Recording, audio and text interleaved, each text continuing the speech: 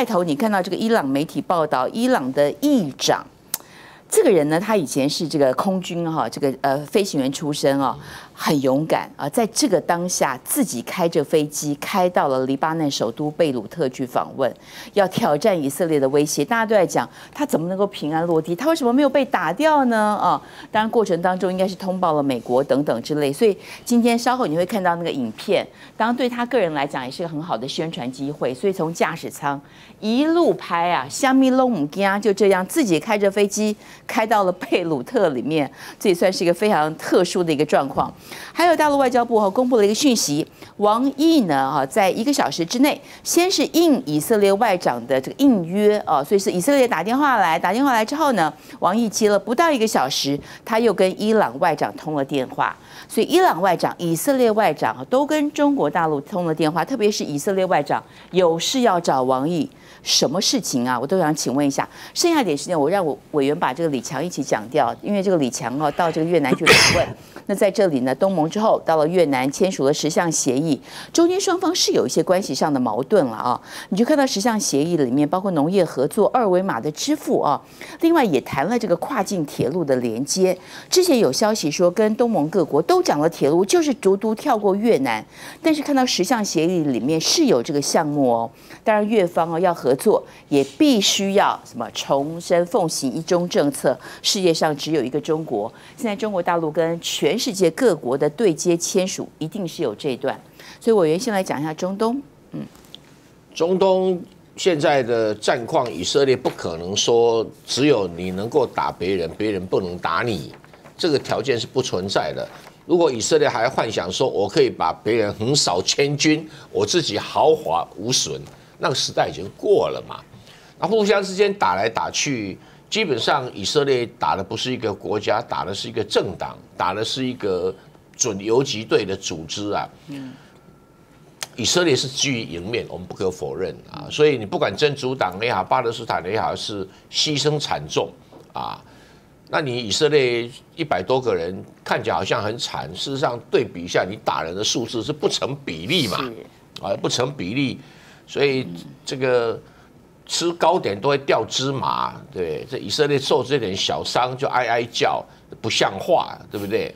那如果是真的以色列的参谋总长哈被 KO 掉的话，那也是一个英雄啊！就像那个真主党很多人被以色列 KO 掉，也是英雄啊！因为战士在战场上面哈，这自要视死如归嘛，这是一个基本条件，不然你当什么战士？那你现在参谋总长如果真的是被这个定点清除的话，那我认我认为这个以色列的报复行动就在政治上要被迫升级。哦，被迫升级到底是会如何不知道。但是以色列外长找王毅，为什么？为什么不找美国通话？因为美国没办法跟伊朗通话。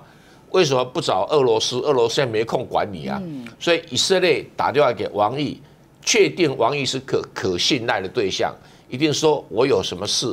麻烦你跟伊朗提一下，然后王毅就接着打电话给伊朗。对，啊，这个就表示中国现在站在一个非常有利的战略位置。嗯，以色列信赖他。哎，我我讲两句话，你不可以给我加油添醋啊？对，这最起码的条件是够信赖。然后伊朗呢，从王毅口中呢可以得知的讯息，也觉得他是精准表达。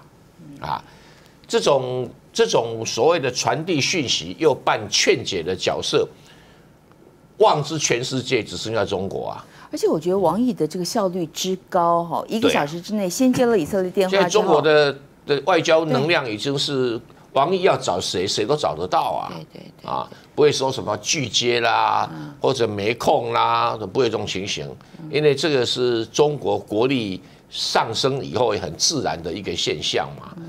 啊，何况对两国来讲，虽然有时候你看啊，中国在联合国里面大概只有中国驻联合国大讲话比较重一点而已，其他的王毅对以色列讲话有没有很重？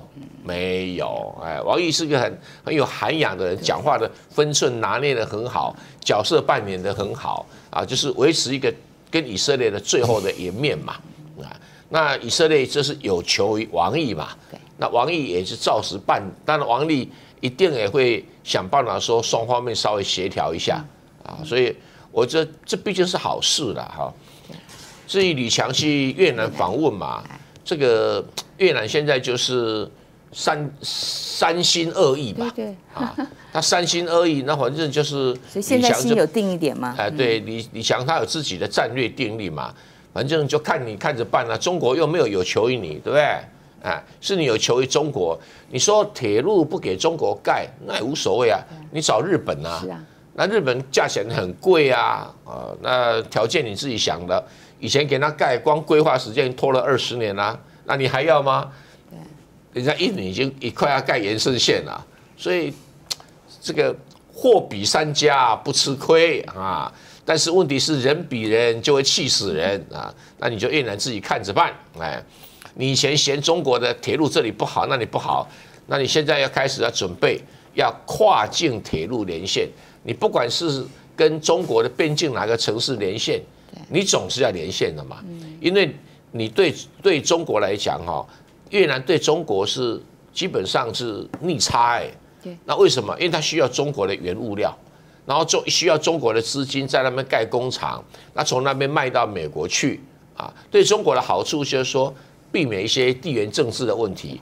对越南好处是说，我可以因此经济成长率可以拉得比较高，哎，那对美国的好处就是说，好吧，你洗产地我都装作没看到啊，这个时候是经济突破地缘政治的一个很重要的一个管道跟现象了。对啊，呃，不过以色列哈一定会会打伊朗。如果说他真的答应说不打核武核设施，不打石油设施，只打军事设施，然后伊朗多多少少也回应一下了哦。对，嗯，所以所以美国赶快找这个萨德系统去帮忙拦截一下伊朗的导弹，这个应该这么说啦，美国的萨德不是去拦截什么什么巴勒斯坦啊，什么真主党啊，他一定是拦截的就是啊伊朗的导弹。上次伊朗导弹给以色列啊抹了一把脸，虽然没有造成太大的伤害，没有伊朗所宣传的那么大的伤害，但基本上也打破了以色列防空系统的神话嘛。对，嗯，